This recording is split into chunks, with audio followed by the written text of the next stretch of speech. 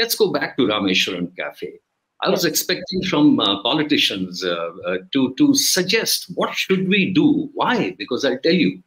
Because if this bomb has a signature of the ISIS, uh, which, which happened last year, uh, believe me, uh, the most serious case was last year.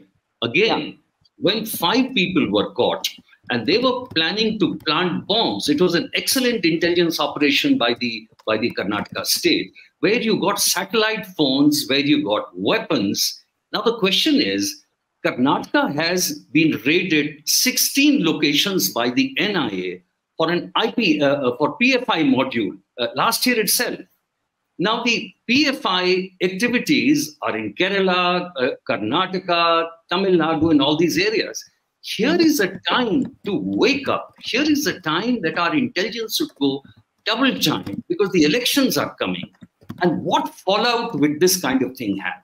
Now, this is this clearly has the signature of a terrorist uh, angle for the simple reason, as I said uh, before, the choice of the restaurant, one of the most famous, the choice of the timing, which is about 12 and 1, that the maximum impact and maximum injury could be done. Now, if this has been done in a ham-handed manner, we should be prepared for future. And I think it is time for the center the, the, the Mr. Prahlad Joshi or the, the deputy CM should get together and do something about it rather than you know going um, you know against each other on, on in a political matter and i tell you there are so many things which which can be really done the database of nia today is amazing nia has done tremendous work it has got 93% conviction the, the state today should completely enmesh its data. Ah, we have the CCTNS. There are so many things to do.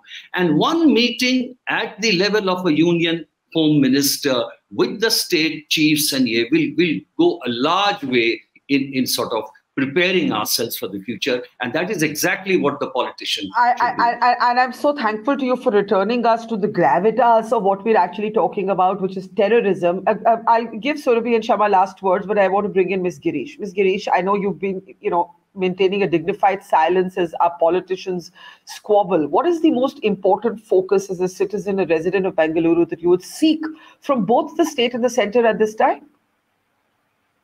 So for me as a citizen of Bengaluru, I want my city to be safe and I want people to be able to go out irrespective of whether it is Rameshwaram Cafe or a mall or a movie theater or a hospital. And this kind of thing, a bomb, you know, being set off and injuring people or killing people, this is very, very disturbing. It, I saw videos where people who were injured and, you know, some of them were just sitting with their head in their hands. It's traumatic. And I don't think the, the way to deal with this is, of course, as the officers already said, that people need to come together. It needs leadership at all level, at the police level, at the NIA level, at the political level.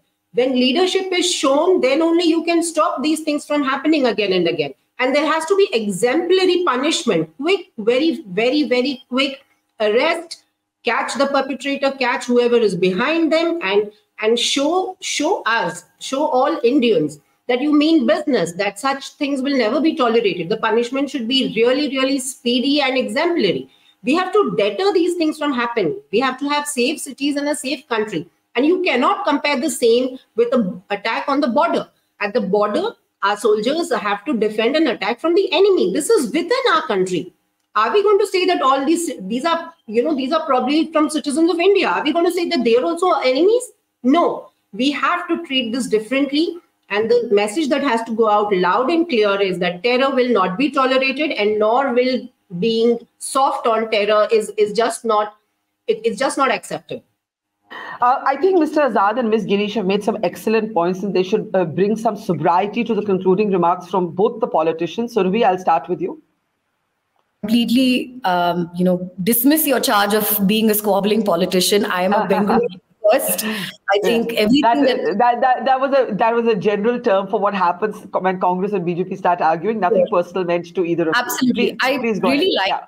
I really liked uh, the suggestion that Mr. Azad said that we should be giving constructive suggestions to the Congress, helping them in ensuring that this investigation, that is the intent. That is precisely why the BJP has requested that all resources available, including the NIA, should be utilized and this investigation should be strengthened as as much as possible. Yesterday, Siddaramaiah uh, CM was in the in Mysore, so a lot of leaders took the responsibility to also go help out the victims. That was also something uh, camaraderie that you could have seen.